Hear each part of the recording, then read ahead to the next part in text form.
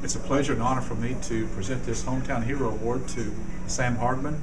Uh, this is a new program in Home Federal Bank designed to uh, recognize and honor individuals in our community who give unselfishly of their time as volunteers to make our community a better place.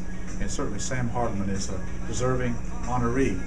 Uh, Sam has been involved in a number of volunteer efforts. He uh, serves with HonorAir uh, in support of veterans in our community, taking veterans back to Washington to see the World War II Memorial and many other things. He also is a strong supporter of the Veterans Home here in Knoxville, the new vet Veterans Home. He also is very active in his church and the Halls Welfare Community, does an awful lot of things for an awful lot of people. It's an honor for us to be here to recognize and to honor Sam Hardman. It's interesting, in this program we had uh, 175 nominees. We had to narrow that down to eight, and Sam is one of those eight. They range in age from 14 to 92.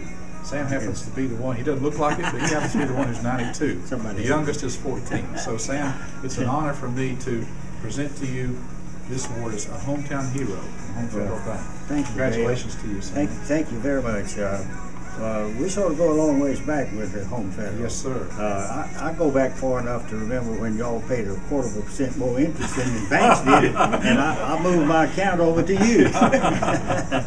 but uh, let me say a little bit about the HonorAir program. Um, I, I've been uh, involved with this since, since second flight.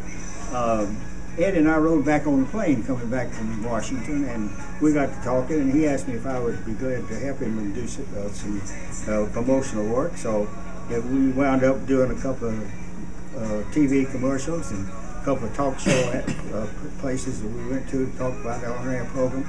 So it's sort of become a passion for me, and I, it, I guess it's been one of my biggest blessings that I've ever had. And I've been, been involved with being out there at the, at the airport either day and night when they leave and when they get back. So I'm just honored to be able to present my uh, uh, contribution to HonorAir. It's also a pleasure for me to, to, to present this check for $2,500 to Eddie Mannis. Eddie is the founder of HonorAir. Eddie, congratulations to you and thank you for all you've done as well. Thank you, Dale. It's no surprise that Mr. Hardman is a home federal hometown hero. He is an honorary hero.